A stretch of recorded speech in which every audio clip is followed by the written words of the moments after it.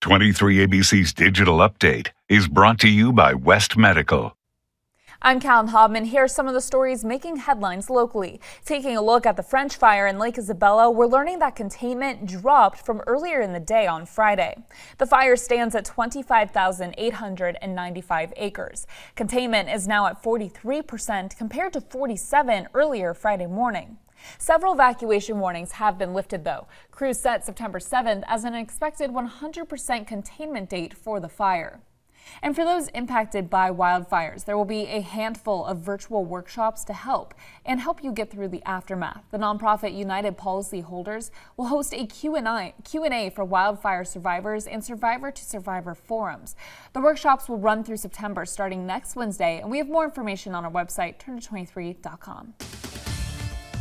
Turning now to the coronavirus, Kern County Public Health releasing new numbers Friday.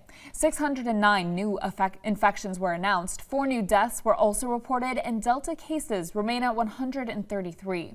Hospitals in the 12 county San Joaquin Valley region have had fewer than 10% of staffed adult ICU beds open for three consecutive days.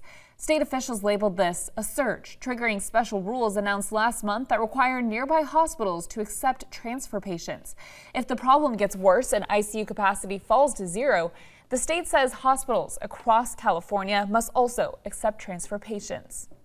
And now taking a look at our weather forecast as we head into our three-day weekend.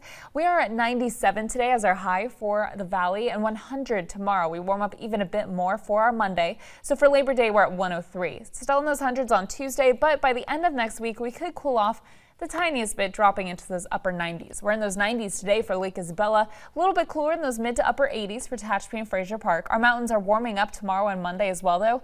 Monday and Tuesday, we're in those hundreds for Lake Isabella, lower 90s for Tehachapi and Frazier Park.